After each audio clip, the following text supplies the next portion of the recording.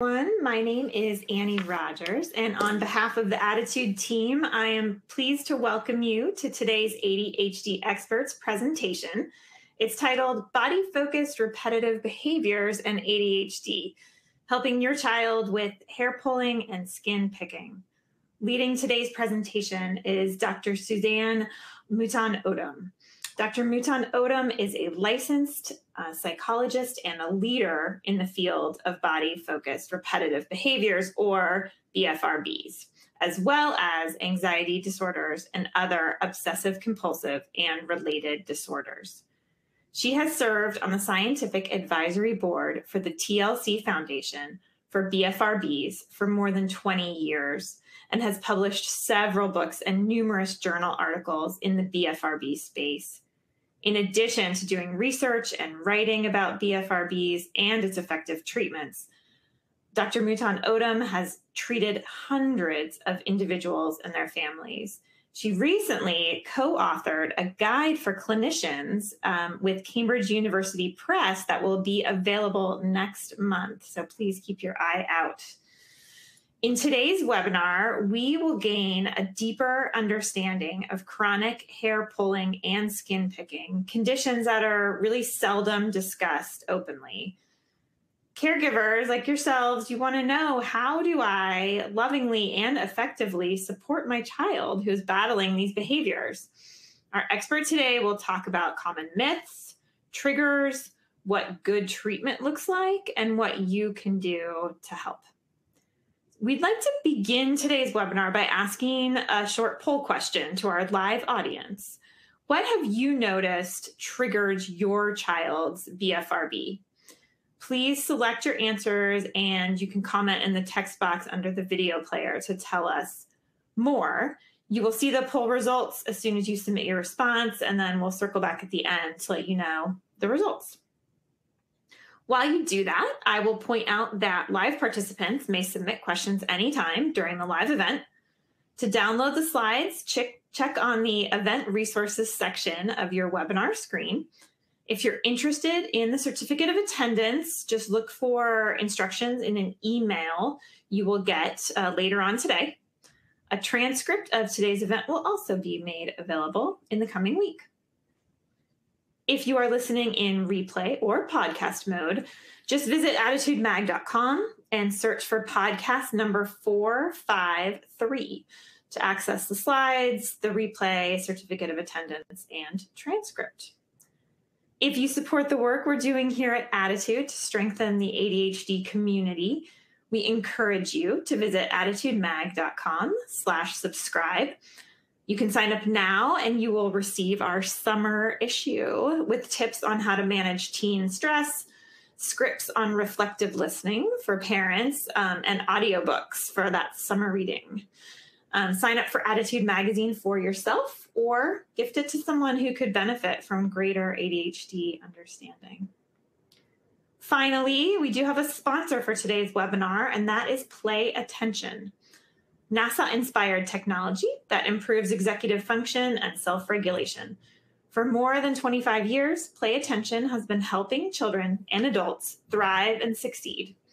Tufts University School of Medicine found Play Attention significantly improved attention, executive function, academic performance, and behavioral control of ADHD students.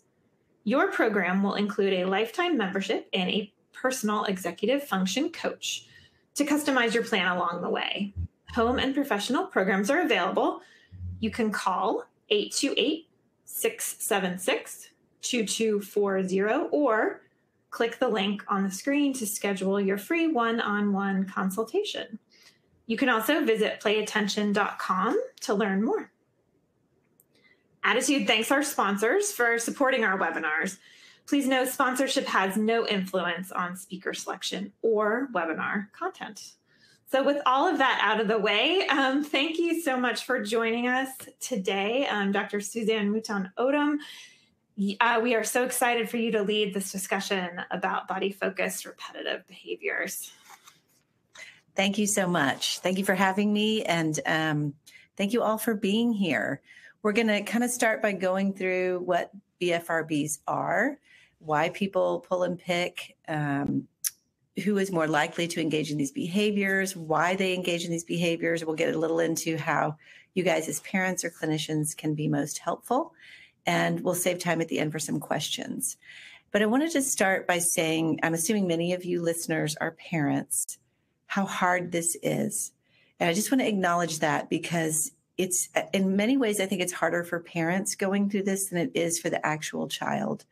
And I want you to really listen with an open heart and um, and and really some compassion for yourself in going through this because I just want to acknowledge how how hard it is for a parent to walk this journey with their child and hopefully we will I will be able to give you some strategies and some um, some ways that you can be most helpful to your child struggling with the BFRB. So we'll go ahead and get started with what are BFRBs. So the most common body focused repetitive behaviors are trichotillomania, which is hair pulling disorder, and excoriation disorder, which is skin picking. Hair pulling is um, any hair on the body could be pulled. Scalp hair, eyelashes, and eyebrows are the three top and most common. But fourth is pubic hair, um, arm hair, leg hair, really any body hair. In males, adult males, it could be facial hair. Um, so really, any any hair on the body is is possibly to be pulled. And then excoriation disorder or skin picking disorder is um, it involves you know nail biting, nail picking, skin picking, um, acne excoriation in teenagers. Um, and, and we have a list of common other BFRBs, in, including nail biting, nose picking, um, lip biting, cheek biting, nail or cuticle picking, and, and really any other picking behavior. The first two, trichotillomania and skin picking disorder, are listed in the D- Diagnostic and Statistical Manual. The other ones aren't listed specifically, but they're called other obsessive compulsive and related disorders, just to hopefully clarify any confusion. So, who can get a BFRB? The prevalence rates are about 2 to 5% um, that we know of. It's also really hard to get these data because most people that pull their hair and pick their skin aren't talking about it.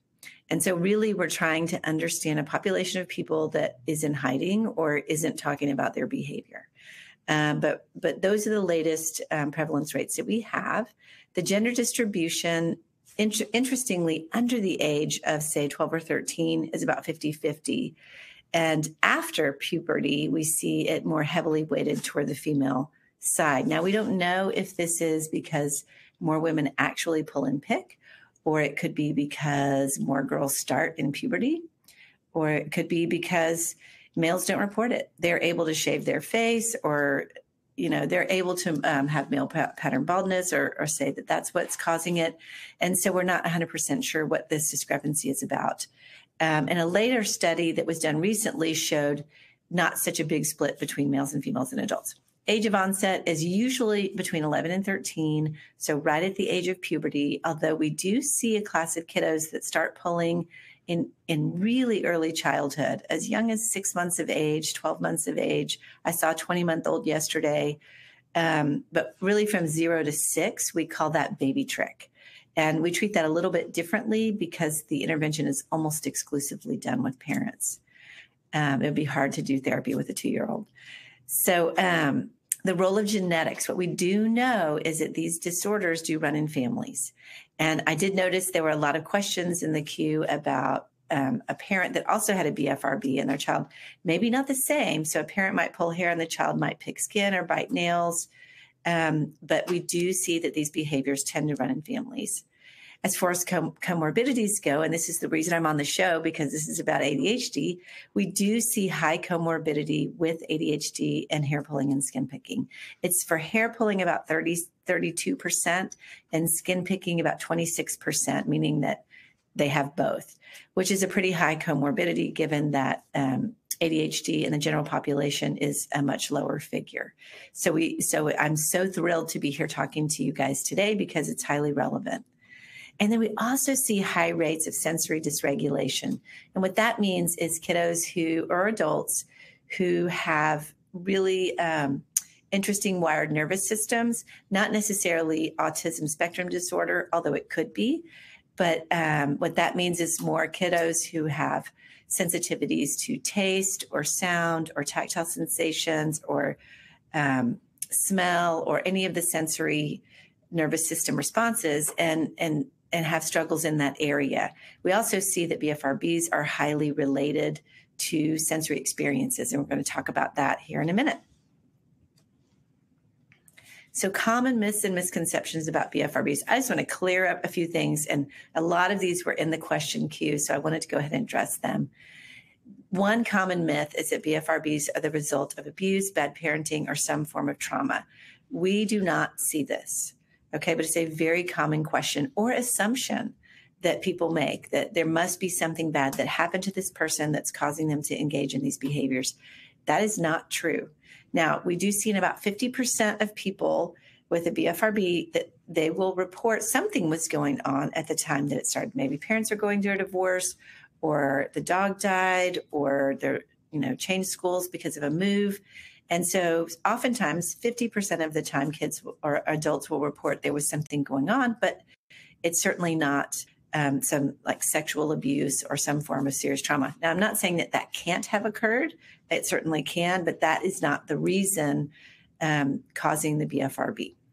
So the second myth is that BFRBs are just a form of OCD, and I want to clarify that too. Um, now they mm, they're not they're not the same thing. They might be considered distant cousins, and they're now they're called related disorders, OCD and related disorders. So it gets a little confusing.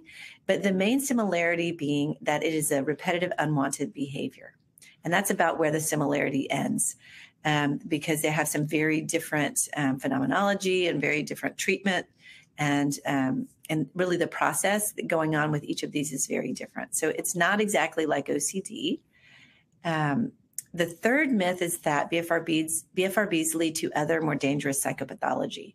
We do not see, and, and this is a big concern of parents, is my child going to become suicidal or have anorexia or become bipolar? What does this mean for the future of my child? And and what we know is that we can't predict anything that should come because your child has a BFRB.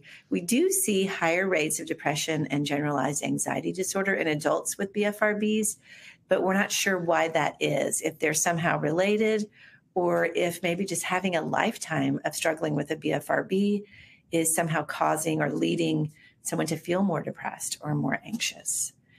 Uh, the fourth, and I hear this one a lot, is that BFRBs are a form of self harm or self mutilation.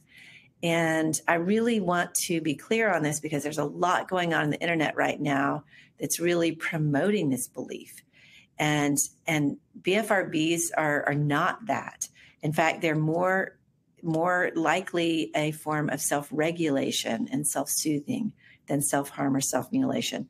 Those behaviors are very different processes and are associated with different psychopathology than BFRBs. So I really want you to hear that. Uh, the next one is the BFRBs are easy to stop and within a person's control. Well, if that were the case, I would not have a job and none of us would be here because they're not easy to stop. It's sort of like any behavior, and maybe think about behaviors that you've engaged in that you've tried to stop in the past and maybe struggled with. Maybe it's losing five or 10 pounds. Maybe it's starting an exercise program. Maybe it's starting a meditation practice it's hard. Behaviors are entrenched in our in our daily lives and changing a behavior takes effort and time and energy and they're not easy to change.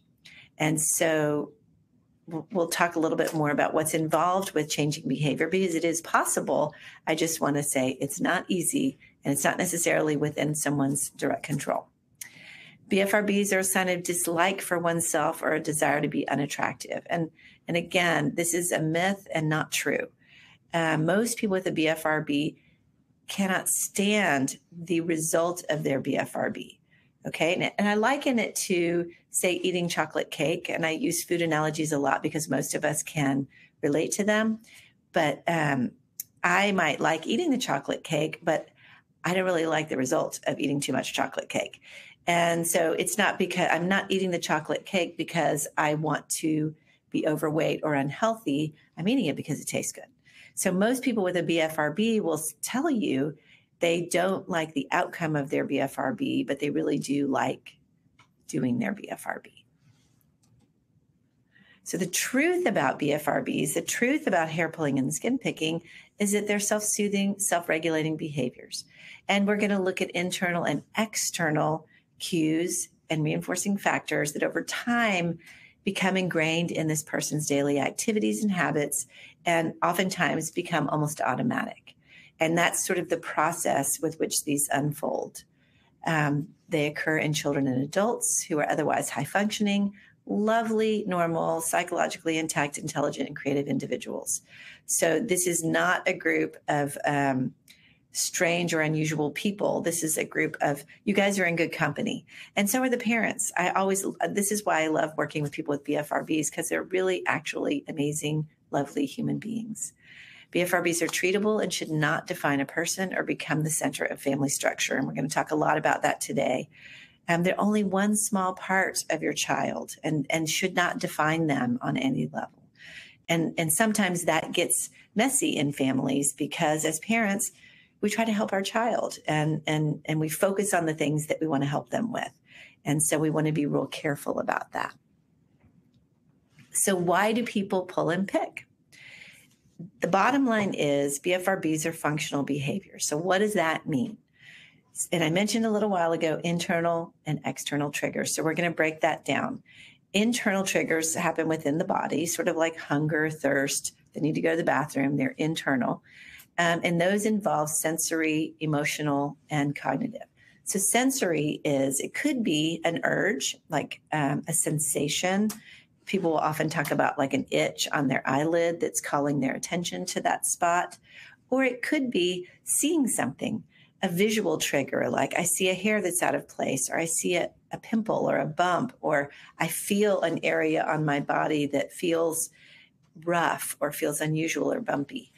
Um, so so sensory experiences can can be any of the sensations. And sometimes these occur after. So the aftermath of pulling might be looking at the hair or stroking the hair or rubbing that little moist bulb that's at the end of the hair along the face and seeing how that feels or wrapping the hair around the finger or looking at the th- the excoriate that comes out of the skin or tasting it or smelling it. So all kinds of behaviors are are common and play into the why is this person engaging in this behavior. Cognitions are thoughts. So sometimes people have beliefs about their hair pulling or skin picking. Beliefs can be like, this will help me concentrate, or I have to pull all these coarse, wiry hairs out. Um, this pimple needs to be picked or it won't heal. Or sometimes people are just thinking about life problems. They're thinking about worries or making decisions or thinking about problems going on with their life. But oftentimes that thought process goes along with the, the BFRB.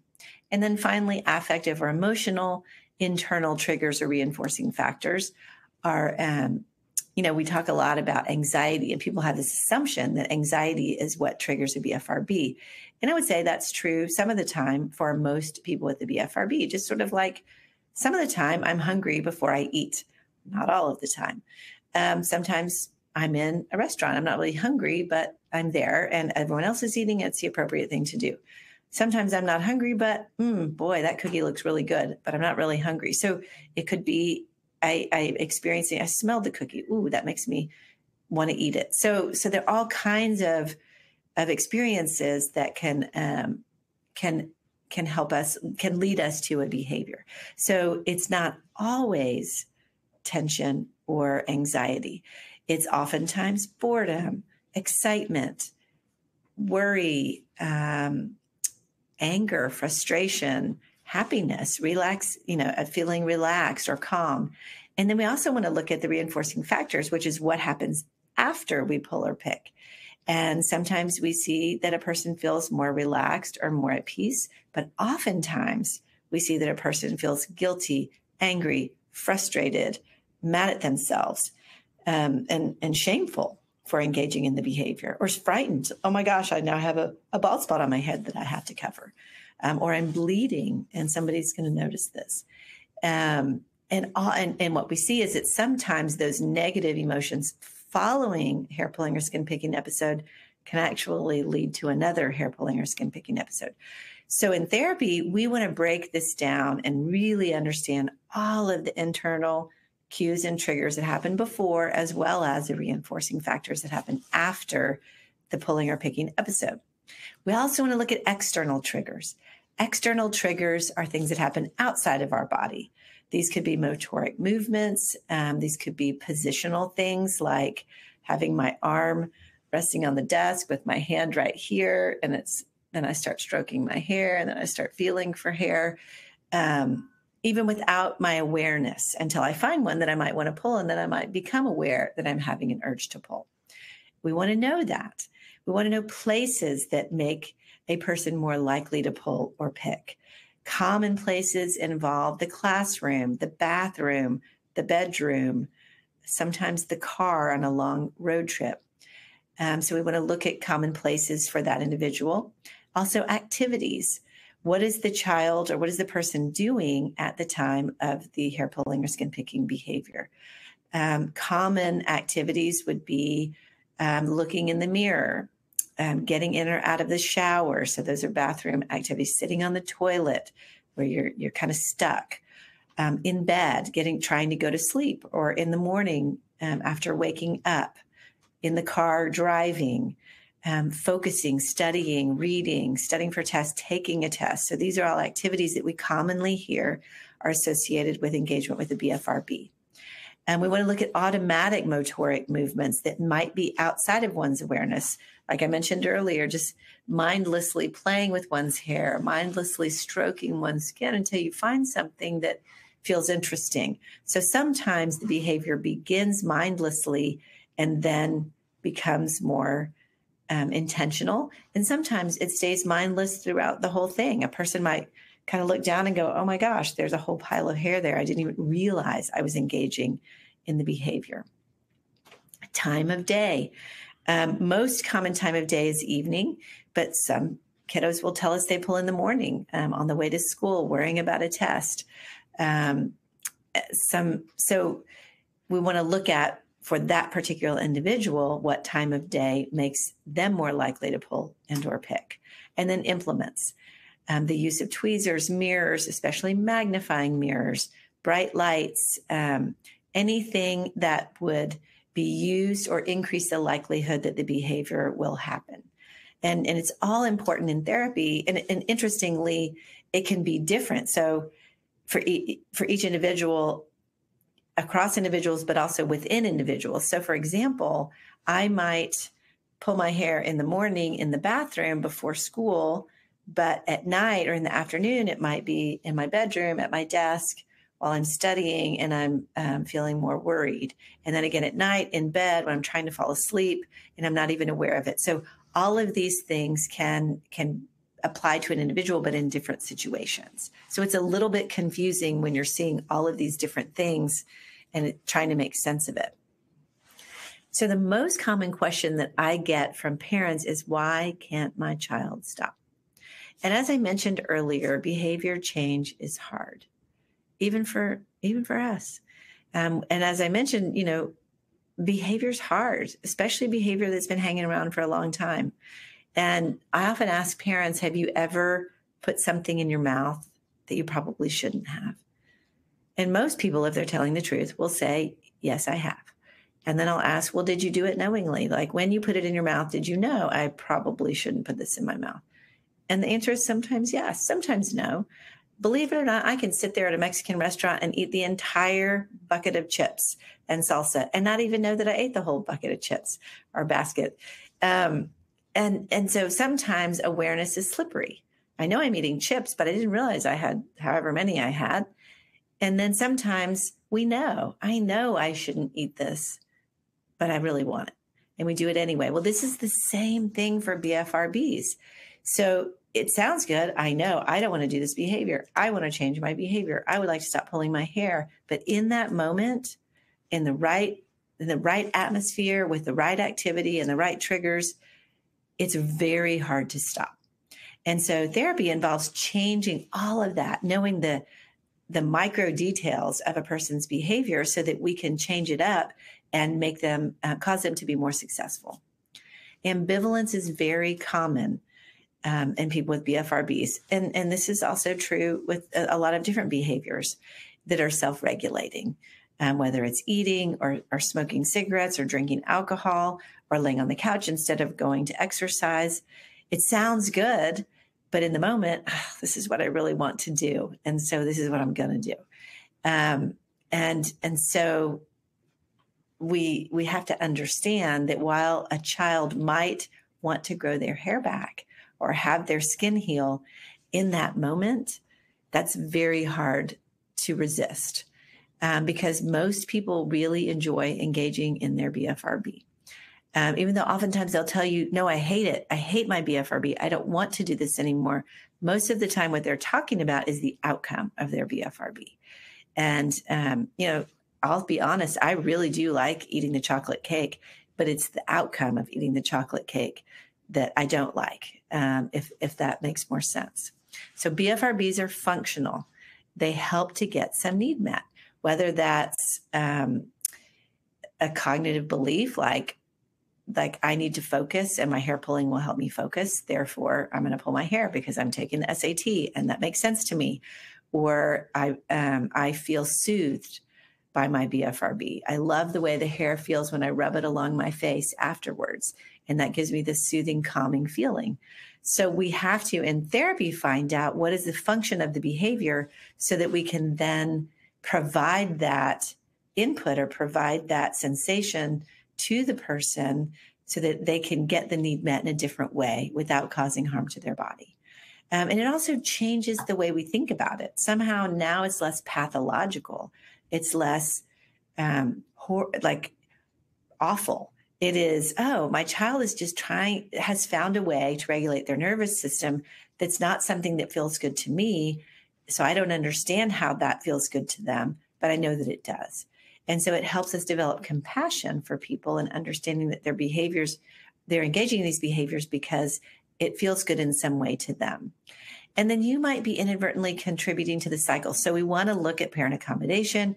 We want to look at parent responses so that we can understand if there are subtle things that parents are doing that um, are contributing to it. And the most common I like to call is fertilizing the weeds. So you have your garden, your garden is your child and all of their qualities.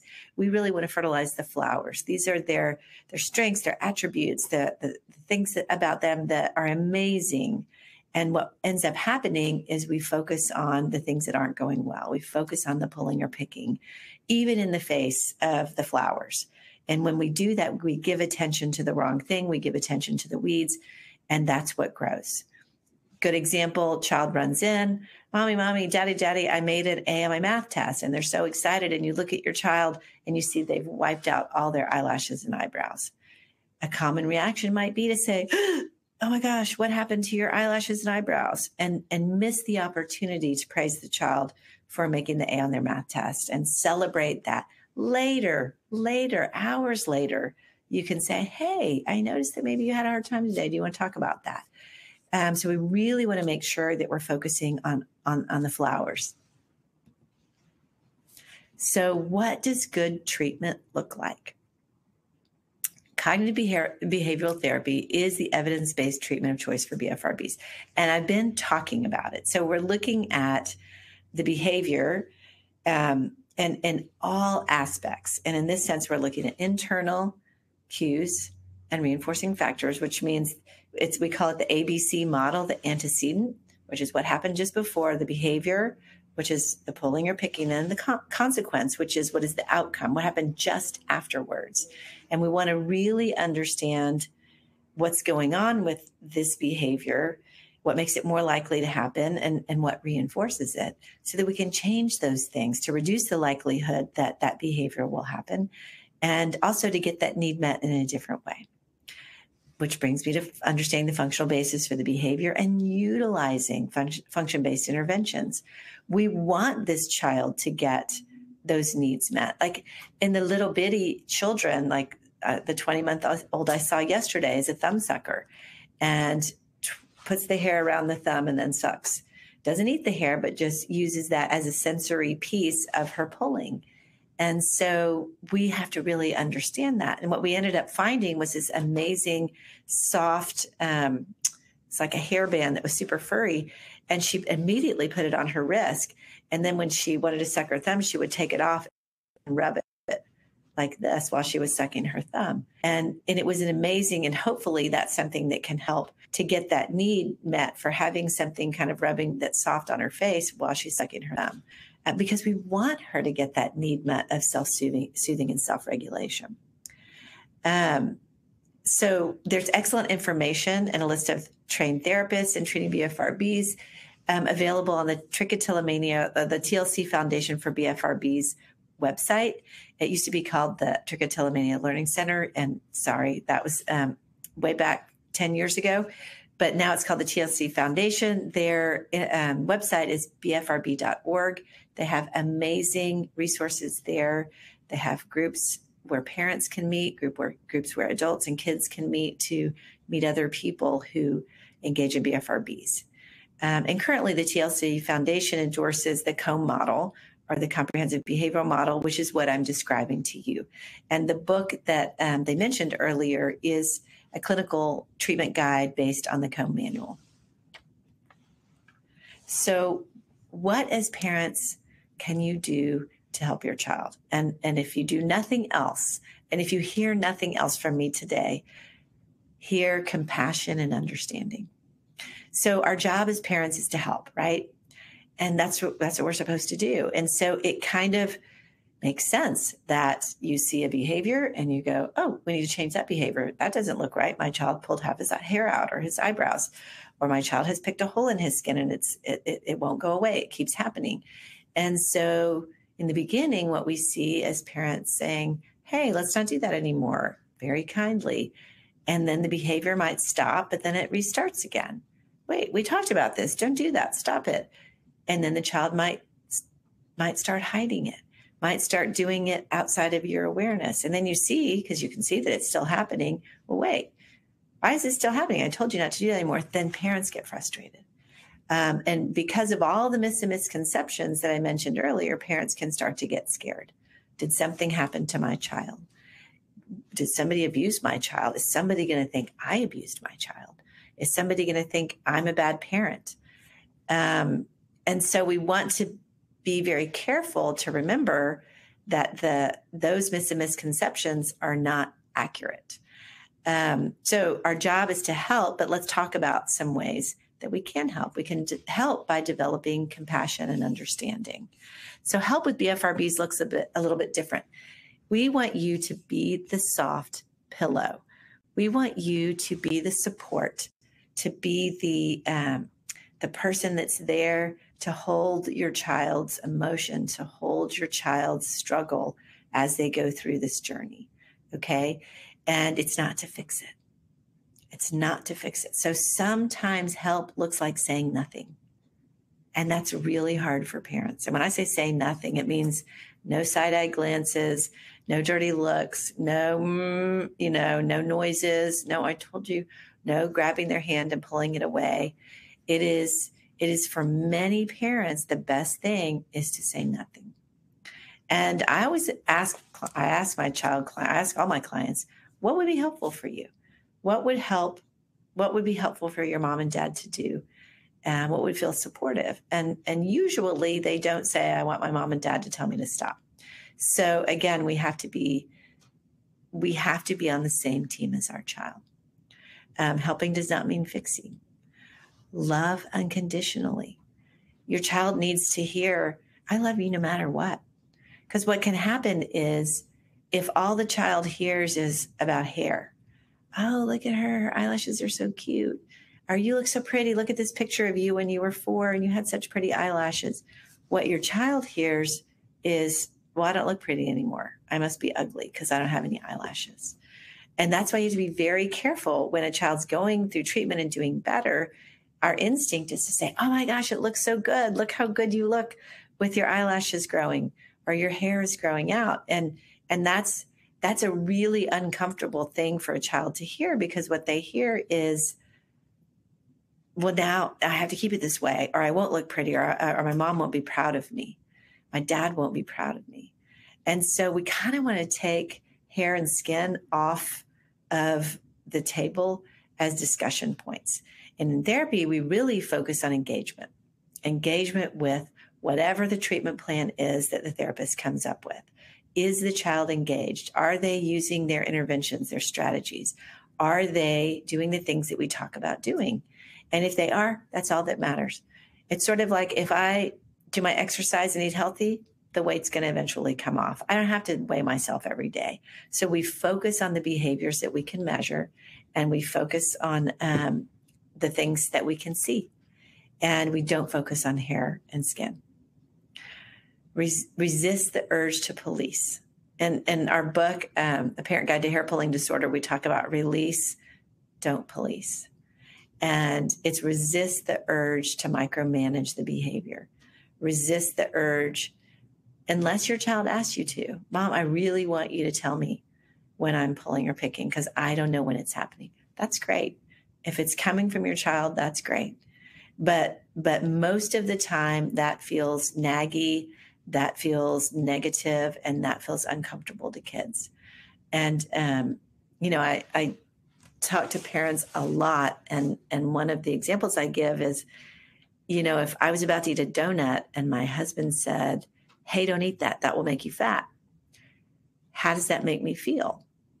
Does that make me feel like, oh, I don't want to eat the donut anymore? Thanks, honey. That makes me feel, thanks for letting me know that. Probably not. It probably makes me angry, frustrated, and makes me want to eat three donuts and pitch one at him. And thankfully, my husband doesn't say things like that, but it doesn't improve our motivation to change our behavior by telling someone not to do something in the moment that they really want to do it. And so a better thing might be a distraction. Hey, you want to go on a walk? Oh my goodness, I need your help in the kitchen. Will you come help me with this? Um, if your child says it's okay to hand them a fidget, one that they've said would be helpful to them, um, or a simple question Is there something I can do to help you right now? Those are much better ways to support your child than instructing them to do the thing that they already know they probably should do. Or it's out of their, what I see a lot is kids who are really unaware of it will say, I don't want my parents to say anything. Please don't say anything. And I ask them, please don't say anything for the next week. Well, the next week we come back, and if they followed that, oftentimes the child will say, Yes, mom and dad didn't say anything. And I wish they would. I wish they would say, you know, maybe a code word like, I don't know, supercalifragilisticexpialidocious, something that will remind me that I'm doing it, I need to stop. But now it's coming from the child. It's not coming from you. And it's a much healthier way to address it. Or I just want mom to give me a hug or hold my hand or, um, or just walk out of the room. So oftentimes we're working together as a team to figure out what feels like support, not policing and not nagging. And the other piece is focus on other aspects of your child.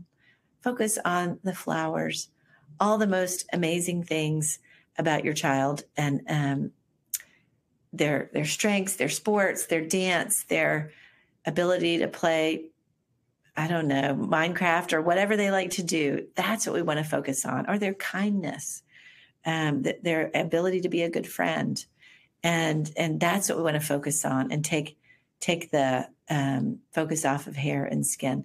Now, a lot of parents will say, but but if we don't work on this, they're going to get teased. I'm just trying to help them not get teased. And of course, we don't want our children to get teased. Um, but many of them will, and, and many of them will get teased for things other than hair pulling and skin picking. Most people will say they got teased at some point in their childhood um, and because, you know, two to 5% of people engage in a BFRB, most of us weren't pulling our hair, picking our skin. So it's probably going to happen anyway. And a better approach would be to really prepare our child for well, how would you handle that? If somebody did say something, what would you say back? Like, hey, why don't you have any eyelashes or eyebrows? Now we're talking about skills. And now we're arming them with some tools or ammunition to to have something to say or to do. And there are a million right answers. And I always work with the child of what feels comfortable to them and what makes sense to them. And um, and what what they're willing to share. You know, some kids will say, I have trichotillomania go look it up, knowing that most people can't spell that word in fourth grade. And so, and, and that can make other kids go, what? And not feel very smart. So, but some kids aren't comfortable with that sharing and they just want to say, it's none of your business or, you know, whatever, and, and find a way to escape that without internalizing it and, um, and feeling negatively about it. And that's really, the the biggest risk as you know when you think about being a parent what do you want for your child what do you want your child what do you what do you want the outcome of all your parenting effort to be and usually what i hear when in response to that question is um, i want my child to like themselves and to be a responsible human who um, you know is is taking care of is able to take care of themselves and is a kind person um, and and so when we reframe it, we see that um, focusing on hair pulling and skin picking probably isn't going to get us there. And what we want to our child to know is that we love them no matter what, no matter what, hair, no hair, um, it, it doesn't matter. They're still an amazing human being. Okay. So I really want you to remember that. And sometimes it takes just reminding yourself every day of all the cool things about your child everything that they do that's amazing and or anything they do that's amazing sometimes children are at that challenging age and it's harder to identify those things um, and then they go into an age that's easier so so love your child unconditionally and tell them so. Honey i don't care if you have hair or not. Hair does not make you a special person. There are plenty believe me i see plenty of people with lots and lots of hair that are not happy. You know, because I, I treat people with all kinds of different psychological problems. I also people see people that have a lack of hair for one reason or another. Sometimes they pull it, sometimes they just have thinning hair or male pattern baldness, and they're extremely happy people. And so hair does not equal happiness. So we have to be careful not to fall into that thinking trap. Um, ask your child what he or she needs from you to help them feel supported and loved ask them, right? That's a better use of your time talking about BFRBs than um, than nagging or reminding or or you know throwing strategies at them. When there is a setback, because there are setbacks, you know, you'll do well for a while and then the child comes home and they've done a big wipeout. Um, we want to use that as an opportunity to focus on problem solving. Oh my goodness, what happened?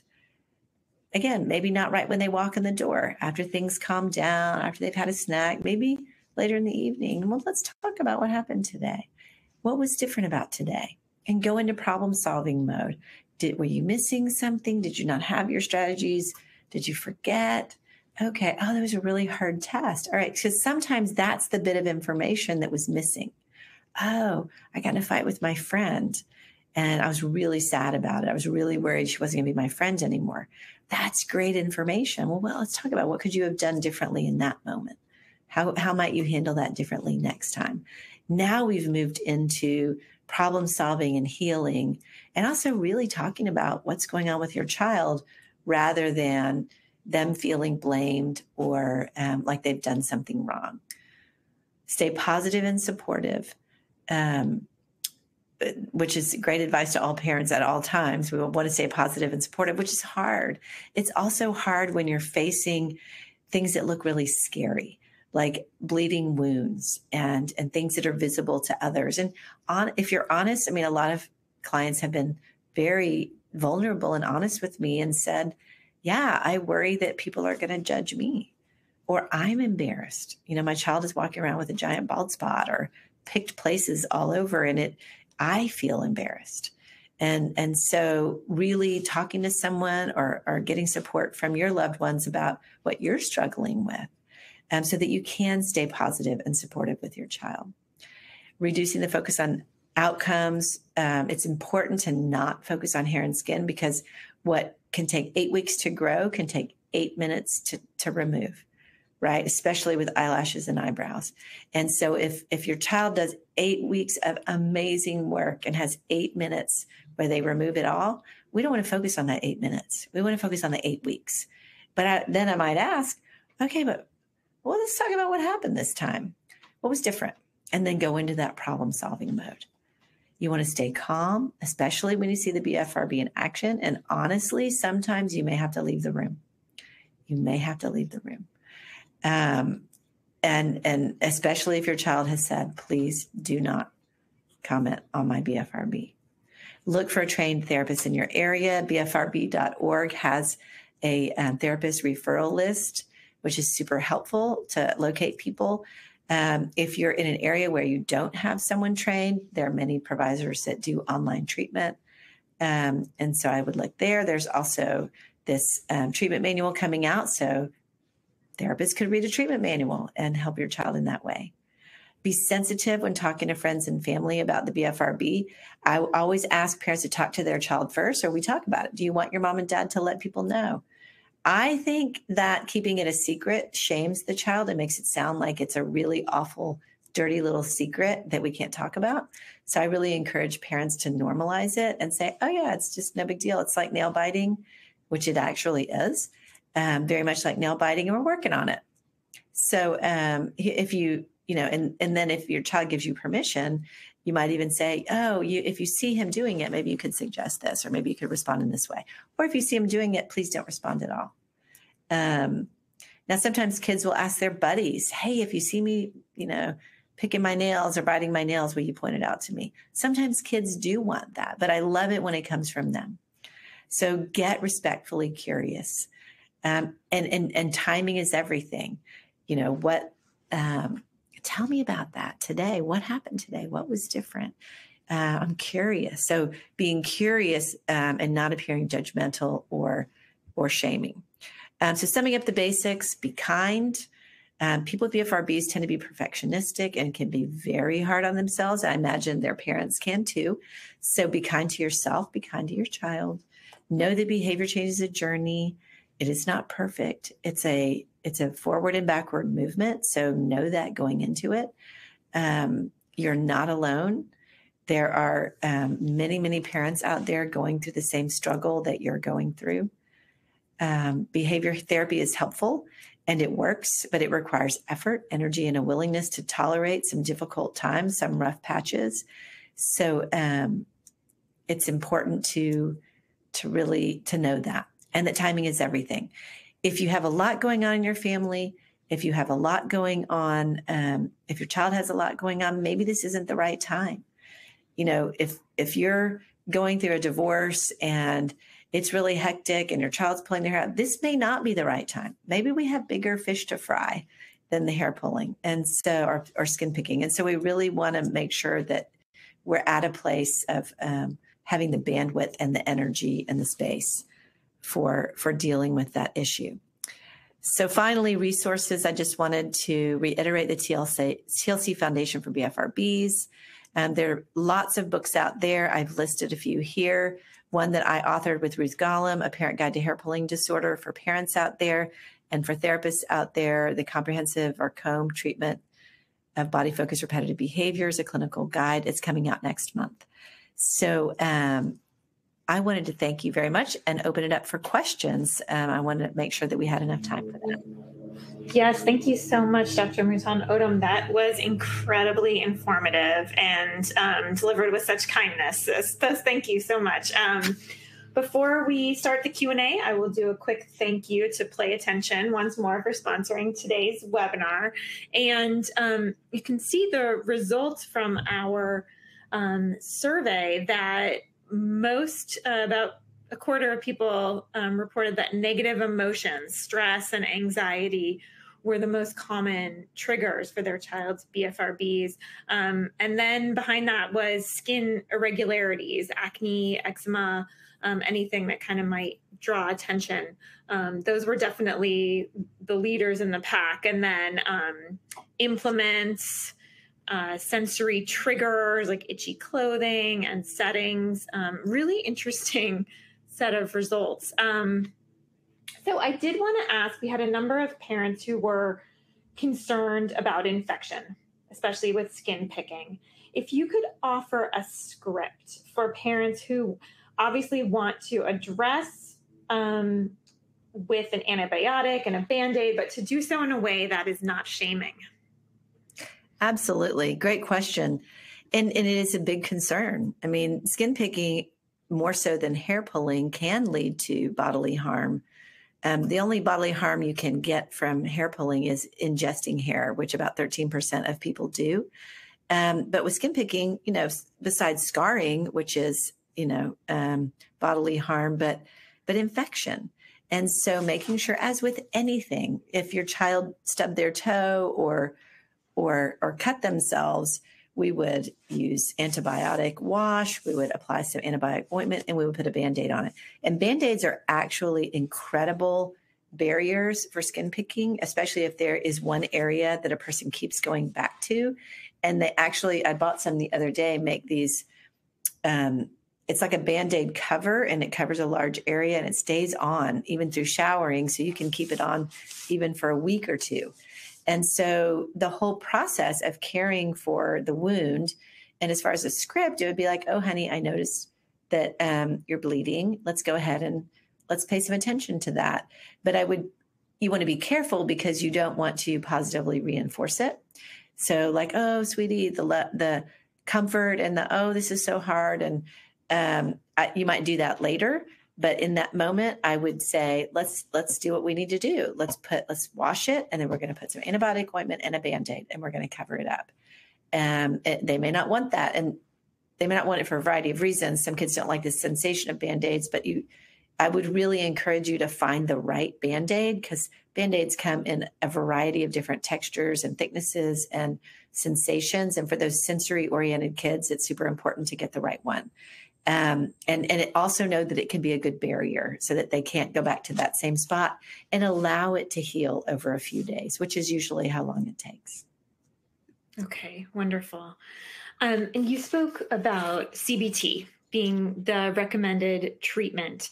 Um, what are some signs that parents can look for that CBT is making uh, positive forward motion with their child? How can they feel some confidence that they are um, moving in the right direction when, as you said, it can take six weeks for the hair to grow and six seconds for it to be removed? Exactly.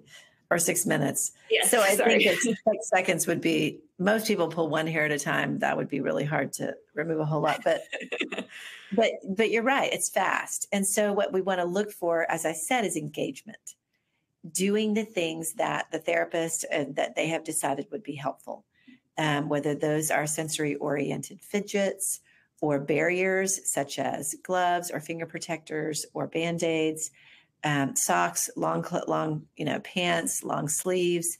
Um, removing magnifying mirrors, removing tweezers and implements, um, covering mirrors. I mean, there's hundreds of interventions, but what we what we're looking for is engagement. That's all we're looking for. Um, the hair will grow, the skin will heal if the child is engaging. Um, and so when you check in with your child, it's not the question isn't, did you pull today? It's how are you doing with using your strategies? How's that going? And then help them problem solve. Oh, I forget to bring my strategies when I watch TV. We'll get a little basket and put it by the TV and fill it with things that would be helpful. Um, so that again speaks to problem solving and helping them to be more successful because we're the parents that are the we're the means to that. We have to buy the things. We have to go on Amazon and order the things. I'll get you more band-aids, no problem. But let's put them here, here, and here. I'll get you a hat. We have 10 hats. Let's put them here, here, here, and here. So so it's it's again about engagement. Oh, that's a great reminder. Um, and speaking of which, uh, engagement is there a way to involve your child's teacher in this plan? Um, again you you were very clear about speaking with your child about what is most helpful of course. Um, but aside from from that um, any pointers for parents who want to bring the teacher on board in helping this process? Sure. I think that um, it, it depends on the teacher. And I would always educate the teacher about BFRBs. Um, uh, either have the parent educate the teacher or have the therapist of the child educate the teacher and be very specific about what the teacher can do that would be helpful. Because well meaning teachers oftentimes think they're doing the right thing, but um, aren't. Like they might see the child in the back of the room. Well, if the child has ADHD, they don't need to be in the back of the room. You know what the teacher might think oh well they're pulling their hair and the kids can see them so let me just move the child. And we don't want to do that. What we want to do is um, whatever is helpful for the child. And it might be going by their desk and putting some ticky tack on it very discreetly. We do not want to call the child out in the middle of the classroom. That's the last thing we want to do. But i've seen teachers do it a hundred times. Well meaning hey put your hand down. That that is incredibly shaming to that child potentially. So we want to be we want to encourage the teacher to be respectful and kind of problem solve with them. How would that work? Or if you see the child's really struggling we might ask the teacher if the child can go run an errand. Hey little susie can you run to the principal's office and and take this? And it might just be a piece of paper that says take five minutes and come back and um, and so we want to work these things out with the teacher by giving them instructions on what would be helpful and also educating them about BFRBs and that these aren't a sign of any deeper psychopathology or that something really bad is going on in the household that hey we're we're working on this and we're a team and this is what's been recommended to us and and you can be part of our team too. But we want to educate that team member Wonderful. And this may be a great time to mention that this webinar will be available for replay. So if you do have a teacher or another loved one uh, in your life who you think would benefit from all of this fantastic knowledge about BFRBs, know uh, that you can share this um, widely. um, so let's see. Another common question here, of course, we're dealing with a lot of comorbidities. ADHD is just one of them, but a number of people wondering can ADHD, is there any research to suggest that ADHD medications could either exacerbate uh, slash trigger BFRBs or improve them? That's a great question, and it's a very common one.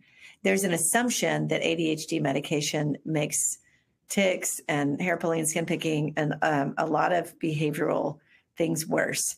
And there is some evidence. There, it, there are few, very few studies done, but um, one or two studies that suggest that. There are also studies that suggest that it improves the outcomes.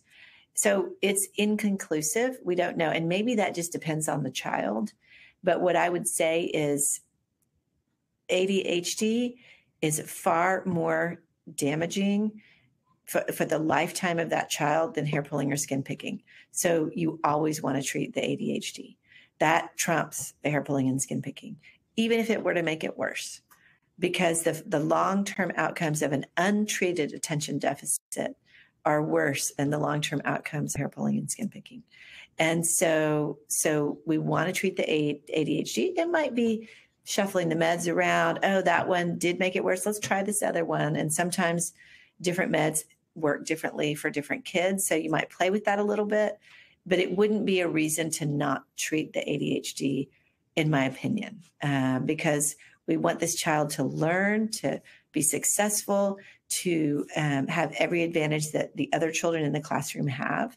And then we'll work through the, the BFRB. We'll figure that out. But let's let's treat the ADHD. Wonderful. I do have one last question I'm going to try and squeeze in here as we're running out of time, but um, I felt it was really poignant. Uh, someone wrote in live today that my nine year old thinks she's the only kid who's ever pulled their hair. I don't know how to let her know that she's not alone without putting undue attention on the behavior. Can you offer any advice or talking points um, that can offer some solace? Well, yes. And I'm just, my heart goes out to you and your child that's so sweet. And and so undue attention really is more of the reminding, the nagging, the um, the policing. So there are books out there that um, are for children. One is called Feathers, about a bird that lost his feathers. There's another one that a client brought in earlier this week. I can't recall the name of it, but I'm sure if you look on Amazon, um, and they're written for kids I mean, and I'll tell, I'll pull books out and go, there are books written on this.